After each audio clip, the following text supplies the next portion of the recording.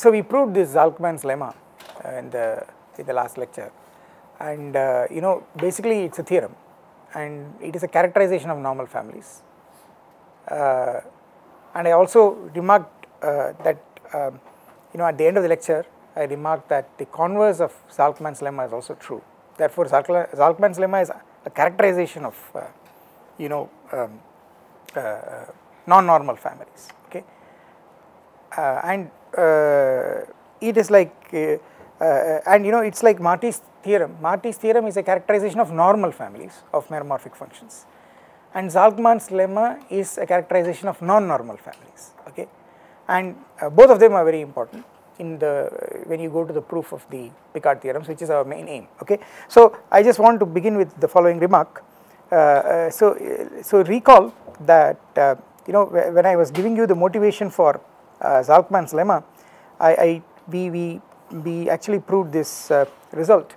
Uh, so if you take a family uh, script f uh, of uh, meromorphic functions defined on a domain in the complex plane or even in the extended plane and you take a point z naught in the domain where the family is normal okay then uh, you give uh, then it, then this normality at a point which is supposed to be normality in some neighborhood of the point so uh, normal, uh, normality at a point is uh, defined just like analyticity at a point is defined okay. So normality at a point means normality in some open disk surrounding that point okay and if you have a family which is normal at a, at a point then it has this property that you know given any sequence uh, of points tending to that point zn tending to z naught and a sequence of decreasing positive radii a sequence of radii tending to 0 okay? Then uh, give me any sequence in the family I can find a subsequence such that the zoomed functions converge uh, normally to a constant function on the plane okay? This is the uh, this is what we proved uh, and uh, uh, this was very easy to deduce okay?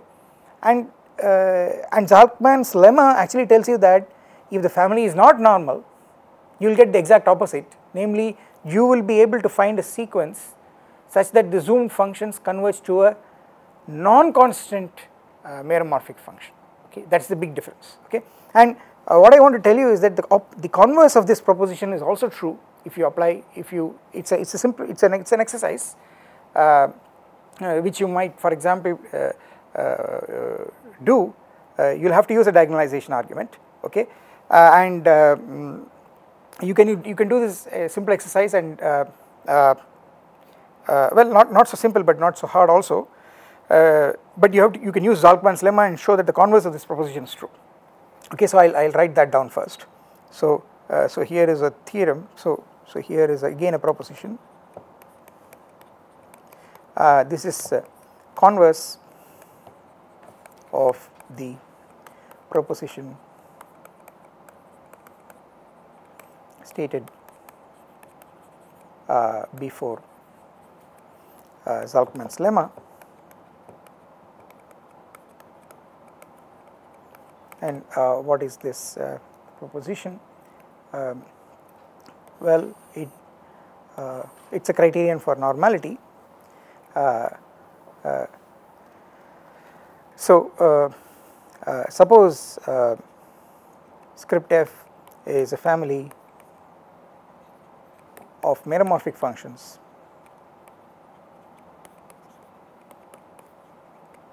on a neighborhood of a point z naught okay. Uh, the point z naught could be a point in the extended plane really it could even be the point at infinity it does not matter okay. Suppose that that for every sequence uh, Zn tending to z naught and every sequence epsilon n tending to 0 plus epsilon n are all positive numbers okay? Uh, so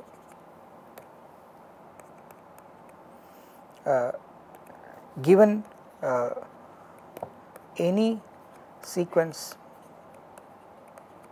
uh, fn in the family script f, there exists a subsequence uh, f and k such that the the zoomed sequence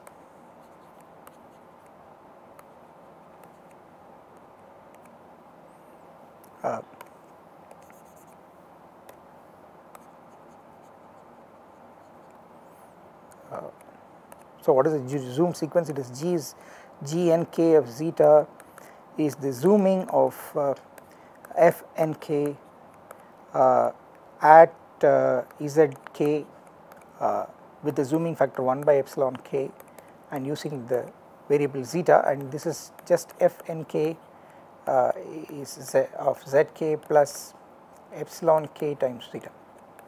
Okay. So, this zoom sequence uh, converges normally on the complex plane to a constant uh, value. In so this constant value can also be uh, the point uh, the value infinity. So it is a constant value in the extended plane okay. So suppose this this property uh, is satisfied by the family script f okay?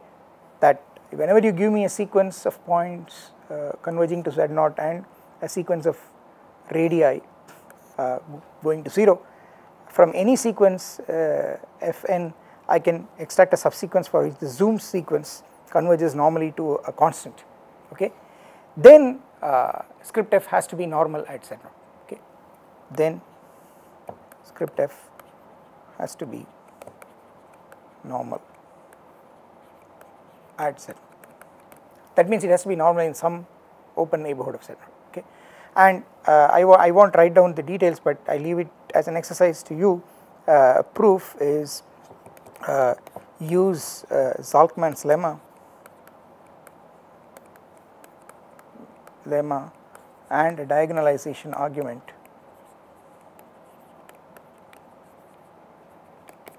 Argument. Assuming uh, the uh, assuming the family script f is not normal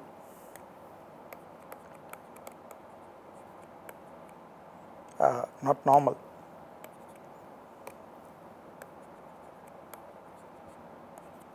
uh, uh, uh, on a decreasing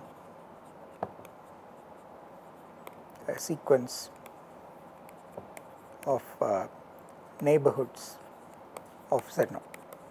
So, uh, I will just uh, uh, this is this is actually more of an this is an exercise okay this is an exercise that I want you to do.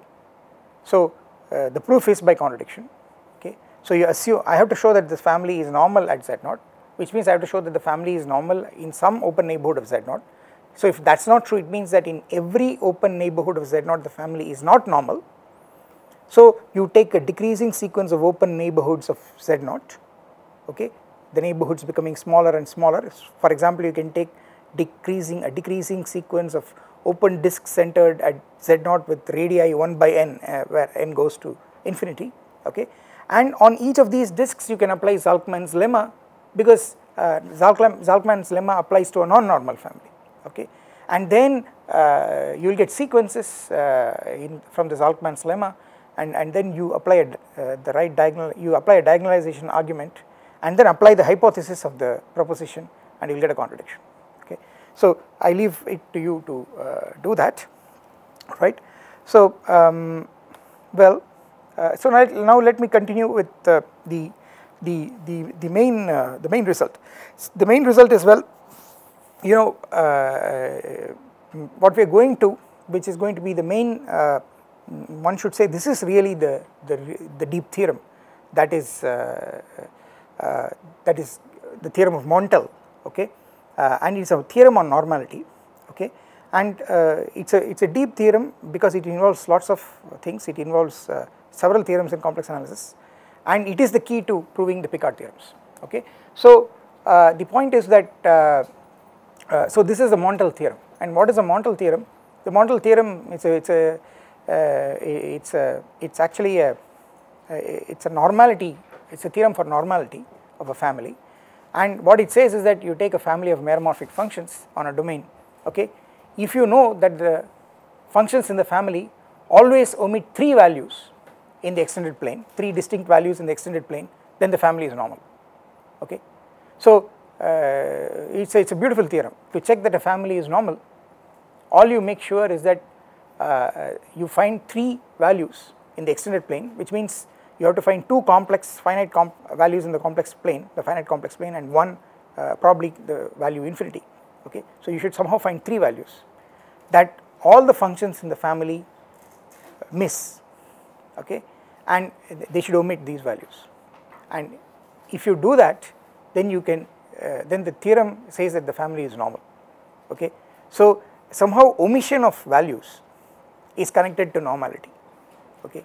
The normality of the family is connected to omission of certain number of values uh, of, uh, by functions in the family okay? And uh, and all uh, and the theorem says that if you can make sure that the family omits three values then you are sure it's normal okay? And mind you normality is a, a condition for compactness okay? So you can imagine the theorem is very powerful.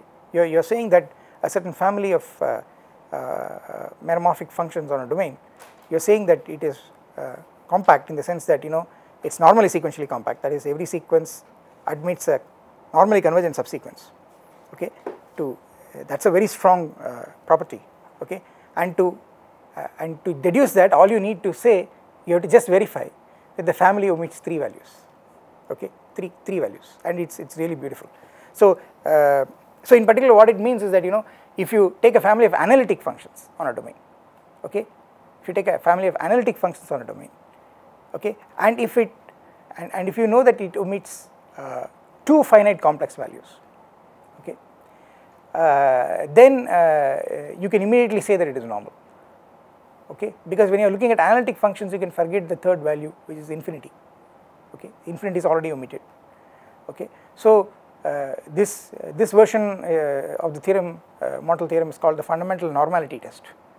Okay? So if you want to check a family of analytic functions is normal okay on a domain all you have to do is uh, uh, you make sure that uh, it omits make sure that every member of the family omits two fixed complex values okay and and you, then then you're sure that it is normal okay. So it's a very deep theorem so let me state it. So this is uh, Montel's theorem theorem on normality uh, so here is the theorem. Uh, let script f be a family of uh, uh, meromorphic functions functions on a domain D in the extended complex plane such that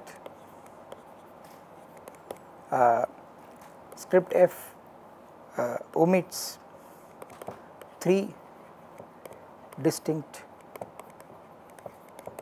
three distinct values in C union infinity. So, so what does this mean? That is there are uh, uh, elements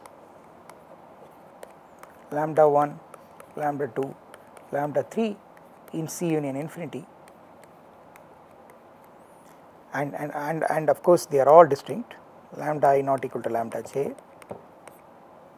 for i not equal to j. Okay. Such that uh, uh, well such that each uh, uh, such that for each uh, f in the family uh, f does not take uh, the values any of the values. Lambda 1 lambda 2 lambda 3 okay? These are these are omitted values. Then uh, script f is normal So this is the this is the uh, this is the this is the I mean the the deepest I would say this is the deepest theorem in this course. Okay, this is the most most important theorem in this course. All right. To check that a family of meromorphic functions on a domain is normal, you just ensure that it omits three values. All the functions in the family omit three three fixed values. Okay, three distinct fixed values. All right, so uh, so here's uh, so how do we go about the proof? Uh, so uh, so the, so the first thing I want to tell you is that uh, you know um, uh, you know that you know fundamental property of Mobius transformations that you know given any three values any three values in the extended plane you can find a Mobius transformation that can map those three values to 0 1 and infinity okay so you can always I mean this is the way uh, in which you write down a Mobius transformation in terms of cross ratios because you know a Mobius transformation has a fundamental property that it, that it preserves cross ratios. So this is something that you should have seen in a first course in complex analysis. So you know these three values lambda 1, lambda 2 and lambda 3 in the extended plane you know I can apply a Mobius transformation and make those uh, map those values to 0 1 and infinity okay and then I can compose the whole uh, family by this uh, uh, I can transform the family using this Mobius transformation this I, I, I, transform the whole family by using this Mobius transformation. And uh, therefore without loss of generality by using a Mobius transformation I can assume that the values that are omitted the three distinct values that are omitted are 0 1 and infinity. Okay? So this is the first reduction right? So let me write this down. Uh, using a Mobius transformation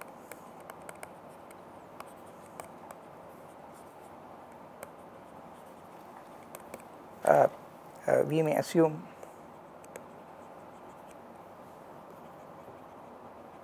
without loss of generality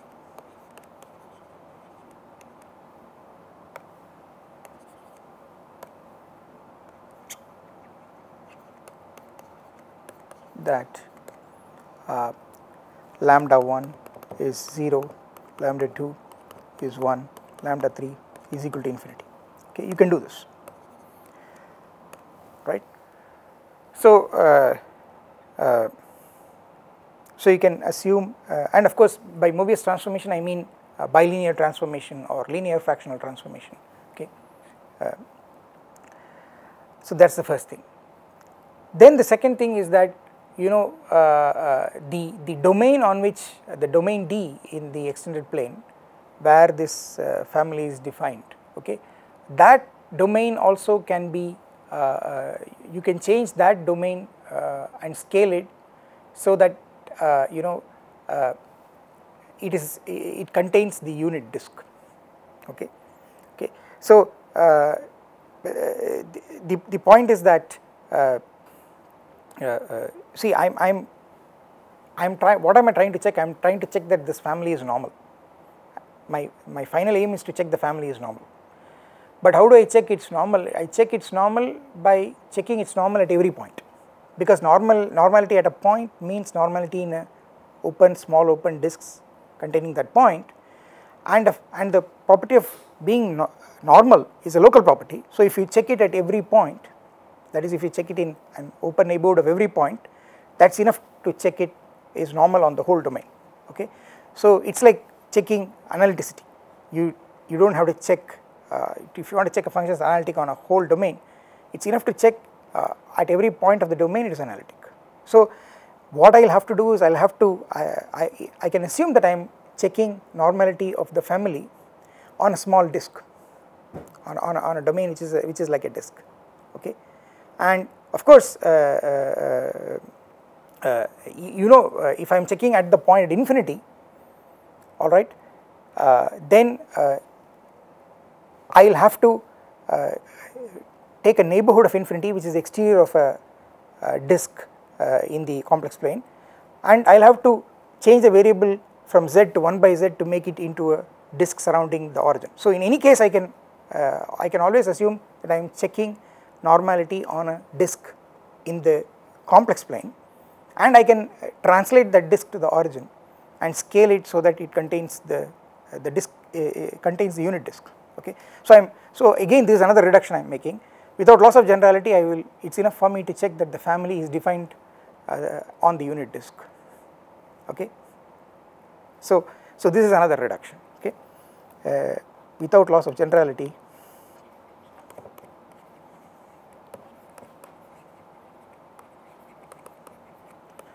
we may assume that uh, D contains contains uh, um, uh,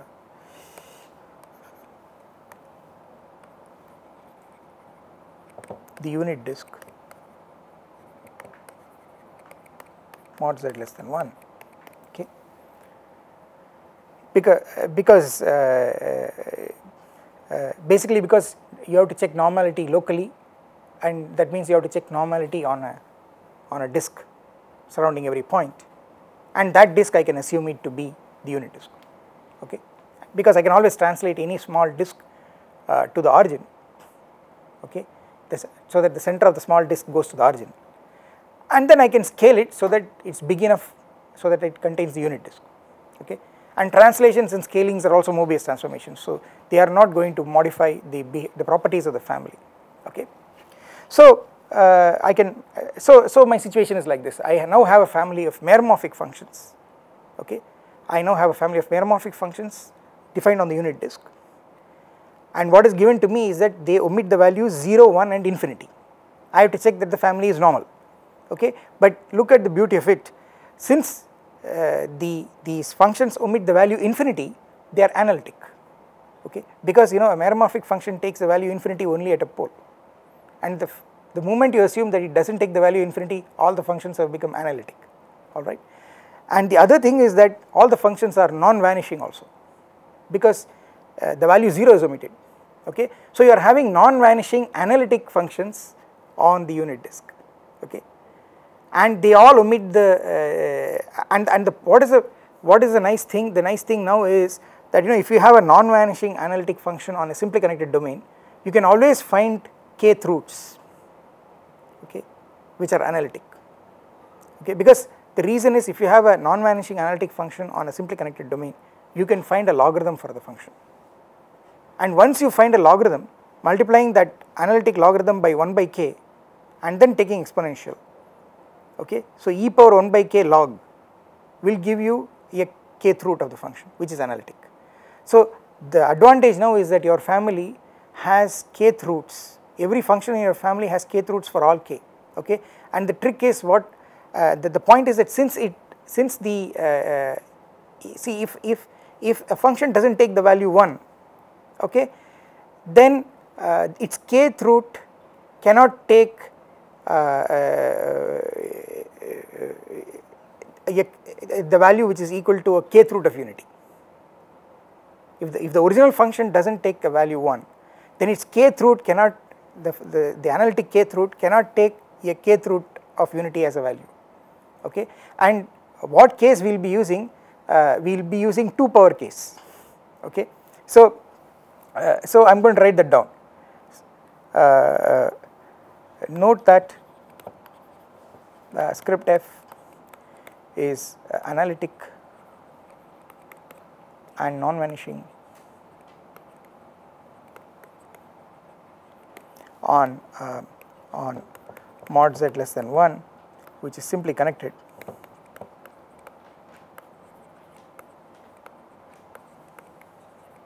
So the uh, so you know so so so the families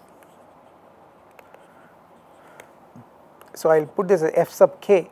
This is uh, f to the 1 by 2 to the k uh, where f is in script f are defined. And analytic on uh, the unit disk uh, with uh, uh, uh, omission of the values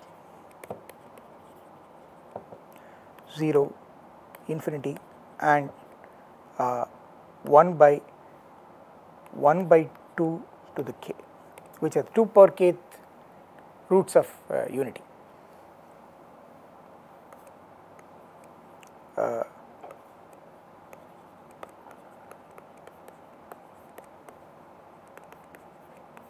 okay. So, so the, uh, so I'm I'm so you see this uh, mind you uh, the the whole point is f to the 1 by 2 power k is defined as e to the uh, 1 by 2 to the k log f. And this log f an analytic branch of log f exists because the domain is the unit disk is simply connected and f never vanishes on the domain. Okay? So uh, this is something that uh, is very very important. Okay? So fine. Uh, uh, and and you know see now you, you, you but where now you know I want you to understand what the idea is. See the idea is you know uh, these uh, uh, so you look at these functions okay? Uh, these functions uh, uh, are, de are, defined on the unit disk okay? But then you know what I'm try I'm trying to prove that they are all normal. I'm, I'm trying to prove that this family script f is normal on the unit disk okay? And uh, mind you that means that I can extract the normality is just that I can extract from any sequence a normally convergent subsequence okay but you see if I can extract uh, uh, such a uh, if, uh, from a sequ sequence a normally convergent subsequence, I can do that also for the uh, 2 power kth roots. Okay, so uh, it's it's it's obvious that you know the family script f is normal if and only if any of the families script f sub k is normal for any k greater than 1 okay? So actually it amounts to uh, to show to showing that f is normal. It's enough to show that one of these script f k's is normal. Okay? And uh, therefore if you contradict the normality of script f what happens is you are contradicting in one stroke the normalities of each of the script f sub k's okay? And once you contradict the normality of each of the script f sub k's Zalcman's lemma comes into the picture and gives you a zoomed limit function which is a non-constant uh, meromorphic function on C with spherical derivative uh, equal to 1 at the origin and the spherical derivative is always bounded by 1 okay. And the beautiful thing is that function that you get is an entire function okay because it is a limit of functions from each of these families it will not take the value uh, infinity, so it will be analytic and it will be defined on the whole complex plane, so it will be entire, okay. And then you will see that uh, uh, uh you can get a contradiction easily by applying Liouville's theorem, okay. So, uh, so, so let me write this down, uh, note that f is normal, normal if and only if if and only if fk is normal uh, for every k or for some k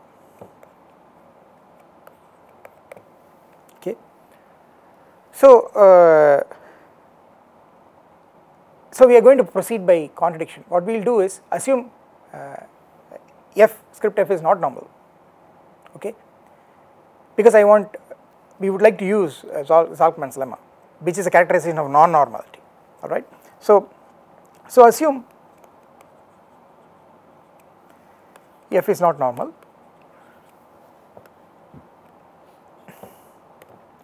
Thus f sub k is not normal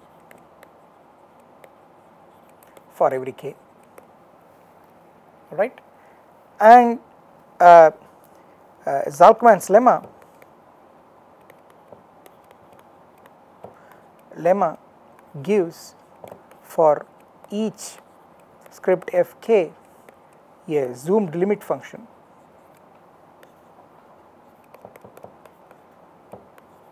I will call the zoomed limit function as g sub k of zeta okay on on on the whole complex plane uh, uh, which is uh, which is meromorphic non-constant. Uh, its spherical derivative at the origin is 1 and all its spherical derivatives are bounded by 1 okay? This is what Zalcman's lemma tells you.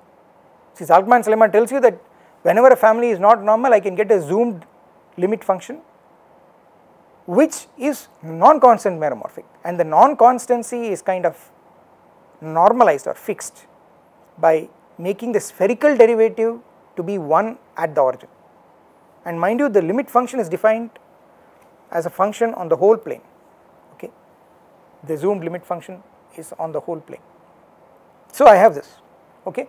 Now what I want you to notice is that the, the first thing I want to tell you is that uh, uh, the zoomed limit function uh, what is what is each zoomed limit function it is a normal limit of uh, meromorphic functions okay but uh, it is a normal limit of functions from uh, fk script f sub k but mind you script f sub k are all analytic okay?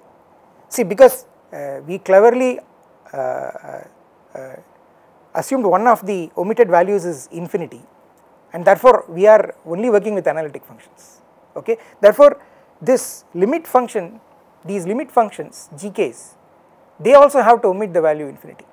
The only other possibility is that they can be identically infinity.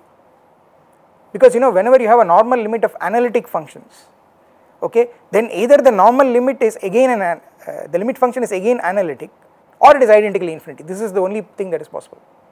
So the only thing that could have happened is that these limit functions are all identically infinite some of the limit functions uh, zoom limit functions gk's they could have been identically infinity but if it if if but even that cannot happen because if they were identically infinity the spherical derivative would have been 0.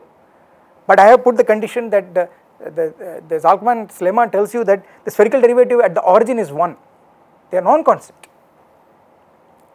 So what it means is that all these GKs are all entire, they are all entire functions, you have, you have cooked up a family of entire functions, you have cooked up a sequence of entire functions, okay. So, uh, so let me write that down.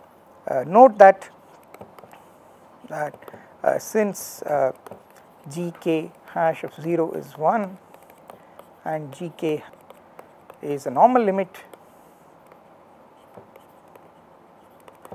of analytic functions from the family fk, uh, gk is entire, it is entire. Uh, because it is analytic and it is uh, uh, uh, defined on the whole plane, so it is entire. And, and the point is that it does not take the value infinity, it cannot take the value infinity. See, in principle it could have been a meromorphic function, it could have taken the value infinity at a pole, but it can never take the value, uh, uh, the, the only way, uh, the only possibility is that because it is a normal limit not of just meromorphic functions but it is a normal limit of analytic functions okay the limit can only either be completely analytic or it can be completely identically infinity. You cannot get from a limit of uh, normal limit of analytic functions you cannot cook up a meromorphic function. This will not happen. That is ba basically because of Hurwitz theorem. Because if you cook up a meromorphic function it means that your your pole is popping up in the limit.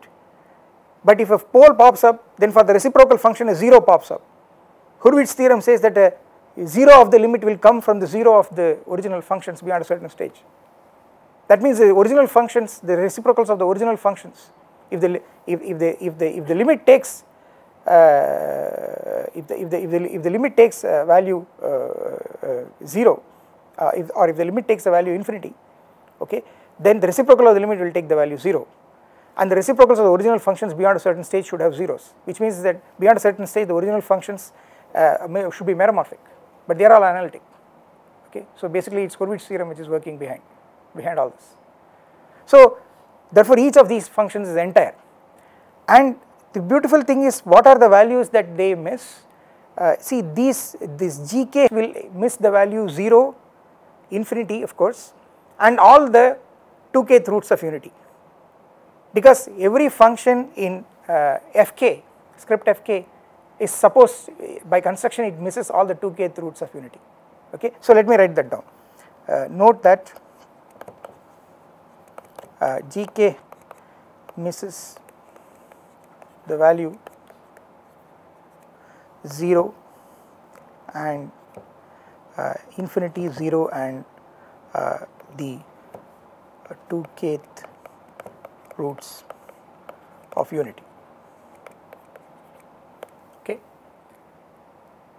And actually what I am using here is actually Hurwitz's theorem use use Hurwitz's theorem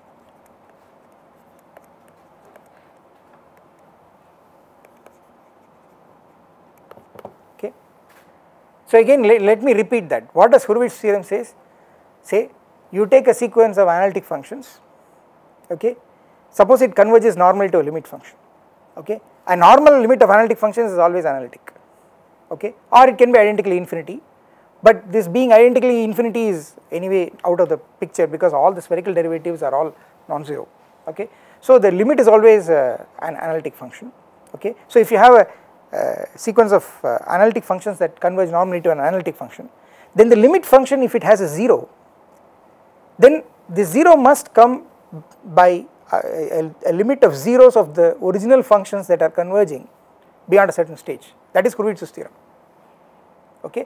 In other words what are you saying? You're, you're, what is it saying? It is saying that you know if the limit function takes the value 0 then the original function should also take the value 0 beyond a certain stage in a neighborhood of the 0 of the limit function okay? And this is not only true for the value 0 it is true for any value.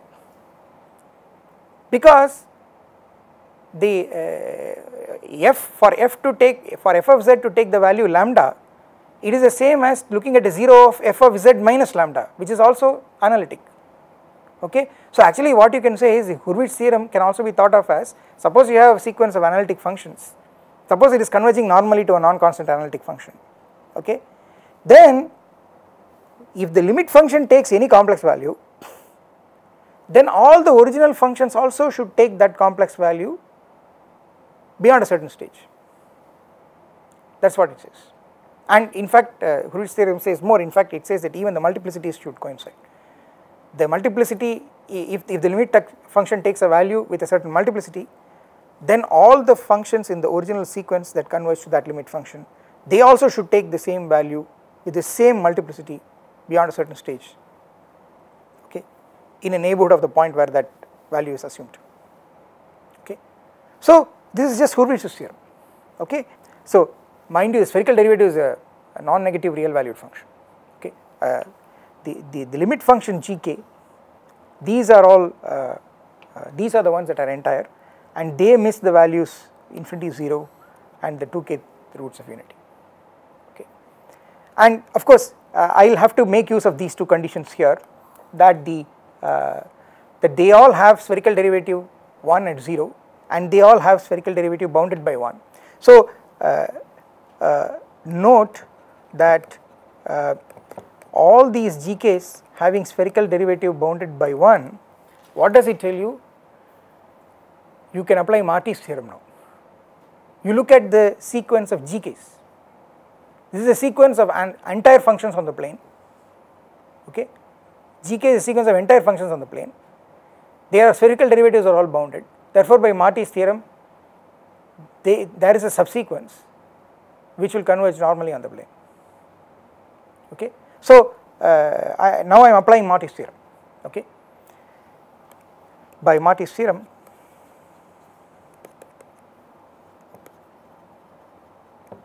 this GK has a convergent subsequence, normally convergent subsequence.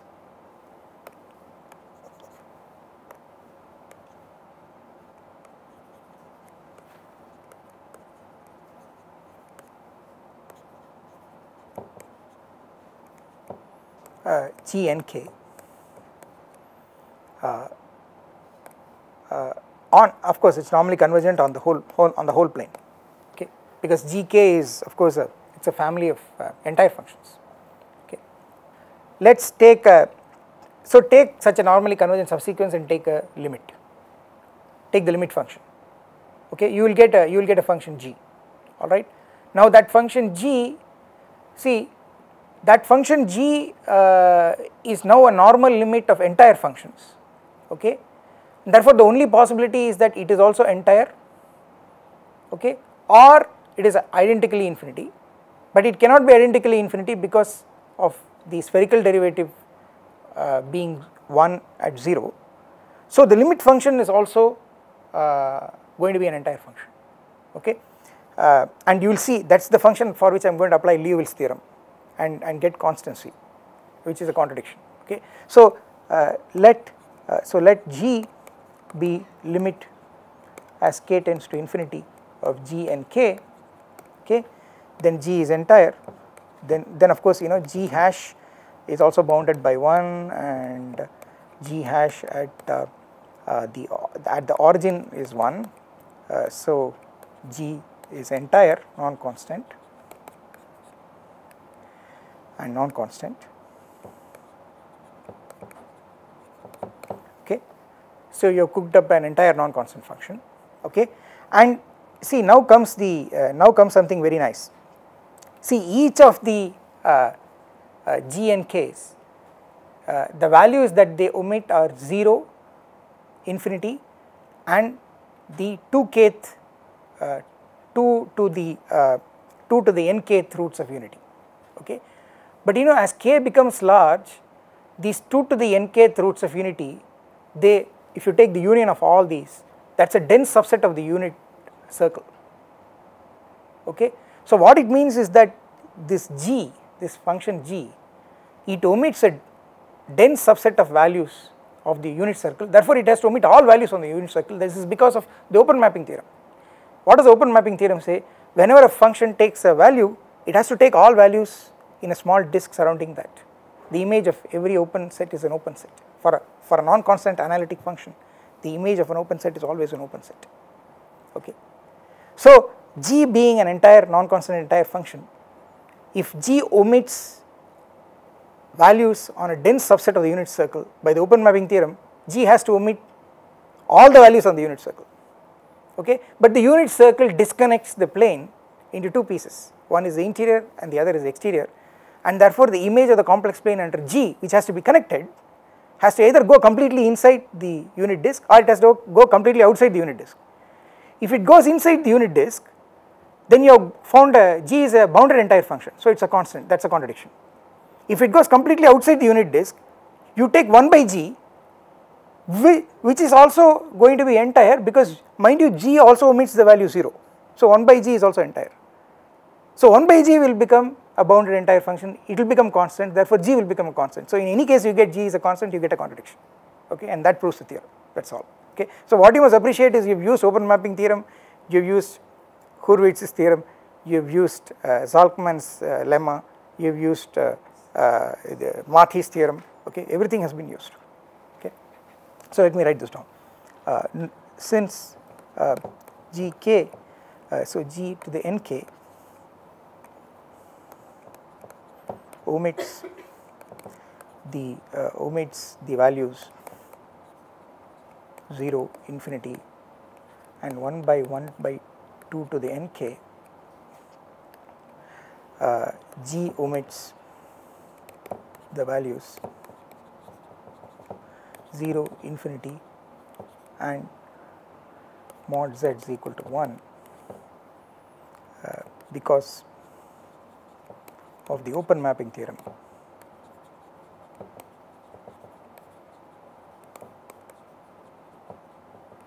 which says G is open and the fact that 1 by uh, the, the 2 power n kth roots of unity uh, k equal to 1, 2 and so on uh, is a dense subset. of mod z is equal to 1. Okay. Thus, g of c which is connected and belongs to complex plane minus mod z is equal to 1 has to uh, imply either mod g is less than 1 or mod g is greater than 1. Okay. If mod g is less than 1, Liouville's theorem